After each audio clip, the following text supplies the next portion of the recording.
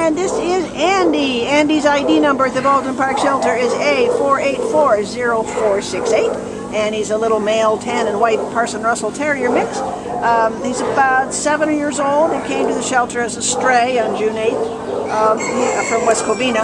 And he only weighs about 18 pounds. Right now he looks kind of sad. How has he been behaving, uh, Lydia? He's been behaving really good. Uh, he's in a kennel with another dog. Yeah. So he gets along well with other dogs. He seemed to be okay when walking. Um, he walks good on a leash. Might need a little bit more training. Um, and he shows signs of being housebroken. He's uh, all around, you know, real nice, friendly um, older dog, so he doesn't have a lot of energy.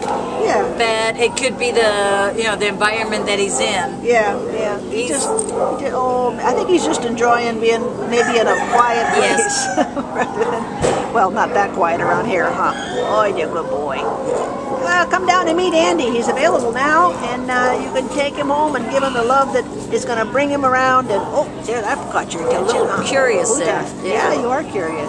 Oh, you're a good boy. Somebody come and help Andy, because he needs it. Oh, baby. Good boy.